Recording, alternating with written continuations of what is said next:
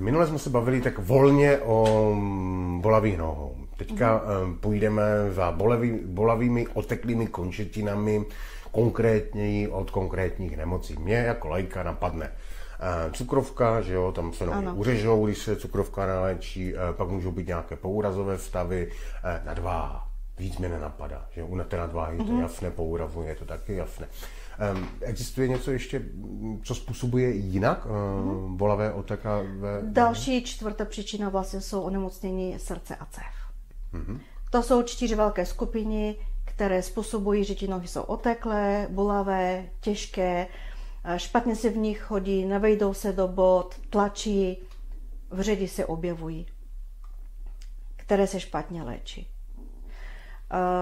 To, co se vlastně stává u těch nohou v těch eh, případů všech, které vlastně popisuješ, je to, že z nějakého důvodu srdce nevypumpuje tu tekutinu, ty, ty krve dostatečně rychle, dejme tomu, dostatečně efektivně a ona se nahromadí dolů v těch nohou, tam stagnuje, poruší se výživa těch tkání, proto se objevují ty vředy, které jsou vlastně spod výživy, eh, kůže, podkoží a tak dále.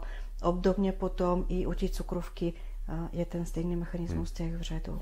Tak eh, co s tím? Spát jako netopír hlavou dolů, nohama nahoru, nebo co, jak, jak si pomoci? Uh, u některých onemocnění by to trošku pomohlo, u některých vůbec. Tam by si naopak lidi mohli otopit plice.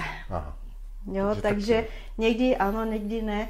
A pokud jsou ti útoky způsobené například, jak si říkal, po těch úrazech, tam je porušení pak lymfatický návrat, trošku i ten návrat. U jinak řekněme, zdravého člověka, tak tam mít vypodložené nohy pomůže do rána, že další den se tak nějak přežije. U lidí, kteří mají cukrovku nebo srdeční onemocnění, tam to může být naopak i nebezpečné, takže to není dobré. Hmm. Tak co mají dělat takový chudáci? Uh, takový chudáci se musí o sebe postarat. Jak? Případně uh, přijít za mnou a postaráme se spolu.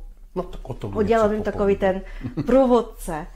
Uh, když přijdou uh, ti lidi ke mně, jakože chodí, uh, většinou příčiny bývají, že oni zjistí, že onemocnění pokračuje i přesto, že mají léčbu, nějakou většinou 3, 4, 5, 6 různých léků. A není to, pro, není to komfortné, není to příjemné. Ti pilulky draždí žalutek, draždí 12 terník, uh, je jim špatně, není jim dobře, cítí se slabé. Tak to prostě funguje, to jsou ti vedlejší účinky, které prostě jsou. A zkoušíme s tím najít nějaké řešení. A většinou procházíme tři fáze, když to půjde úplně nejlépe. V první fázi tyto lidi si vyšetřím podrobně, já vyšetřím je i za pomoci oberonu, samozřejmě po nich chci nějaké e, objektivní informace také. A nastavíme nějakou strategii, jak se s tím poprat. Podle toho, jaké základní onemocnění je a podle toho, jak je největší zdravotní problém nebo klíčový, který můžeme vyřešit. A tam začneme. A co se týče akutní péči, co můžeme udělat, to jsou ty specializované masáže, které jsem vytvořila s respektem k různým vrstvám, které jsou v těchto končetinách a které můžou, nemusí být poškozené, tak, abychom vlastně ty tekutiny odsáli a způsobem, aby se jim ulevilo. Ale to je taková, jak říkám, akutní dočasná péče, která je jenom k tomu, aby si jim ulehčil ten život. A pak se pustíme do těch onemocnění. A to se pustíte jak? To se pustíme dobrým jídlem. A pokud je potřeba nahradit nebo doplnit nějakým vhodným potravinovým doplňkem, protože se stane, když změříme, že třeba Hodně času ti lidi přijdou chudokrevní, protože mají málo železa v krvi, málo kyseliny listové, málo vitaminu D, nebo něco jiného, nebo nějak prostě dát tak, aby to tělo bylo dobře vyživené. Opakovaně o tom mluvíme. Dobré jídlo je prostě jeden ze základních faktorů. O jídle se někdy popovídáme. Jasně. Ale to je jeden z věcí, jedno z věcí, které děláme. Uh, dávám jim molekulární vodík. Je to jeden z faktorů, který prostě opravdu pomáhá hlavně o těch chronických onemocnění, které jsou zatížené eh, tím chronickým zánětem. Bez toho se dá ale velmi špatně obejít. Používám ho jako jeden ze základních kamenů. Takže nastavíme, nastavíme nějaký pohybový režim. To, co oni zvládnou. Vždycky se domluvíme tak, aby zvládli veškeré změny. A uh, mluvíme i o způsobu, jak přemýšlet sám o sebe.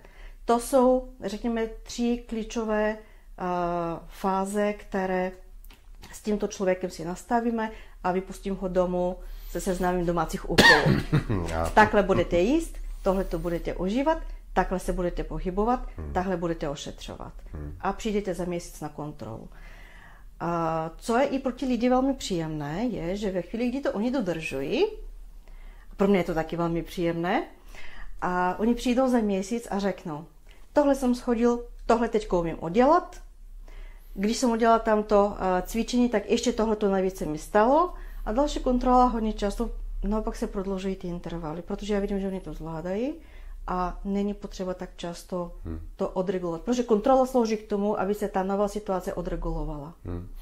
Napadá mi ještě jedna věc, když už přijde ten pacient eh, v hodně eh, špatném klinickém stavu, mm. existuje něco, jak mu i hned eh, od pomoci, nějakou masáží nebo něco? Podle toho, podle toho, co znamená špatný stav, ve smyslu, co přesně se kazí. Mm. Masáže slouží k tomu, aby se opravdu to tělo dostalo stimul. Hmm. A jestli to můžu přirovnat, je to jako dát mu elektrický impuls k tomu, aby se probudil. Jako takový hmm. Frankenstein, který prostě přijde k životu a začne to tělo prostě jet na nějakých obrátkách, protože tyto nemocní těla mají tu tendenci se jakoby zastavit hmm. a spíše degradovat. Hmm. Jo, a musíme mu dát nějaký impuls.